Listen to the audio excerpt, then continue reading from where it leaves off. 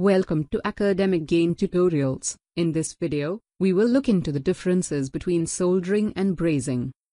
Basically, soldering is a process of joining two or more metal pieces by melting and putting a solder or filler metal into the joint. The solder or filler metal have lower melting point than the adjoining metal. Solder and a flux are the two main things which are used in soldering process. On the other hand, Brazing is the process of joining two or more like or unlike metals with the help of an alloy which is in the form of spelter such as borax and ash. The filler metal flows into the joint by the capillary action. The main benefit of brazing is that it is used to join similar or dissimilar metals which are of considerable strength.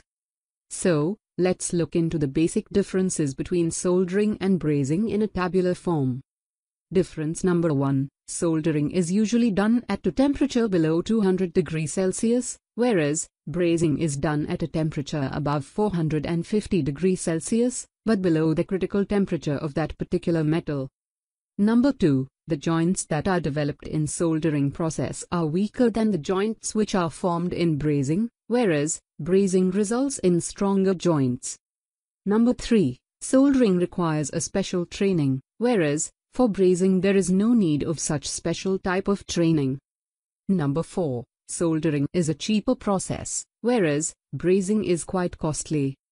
Number 5. Soldering is really a very easy and quick process, whereas brazing is not easy and very difficult for automation.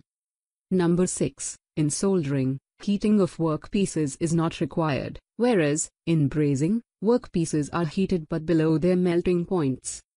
Number 7. Preheating of base metal is not required in soldering, whereas, preheating of base metal is required to produce quality joints in brazing. Number 8. Solder is used in soldering, whereas, spelter is used in brazing.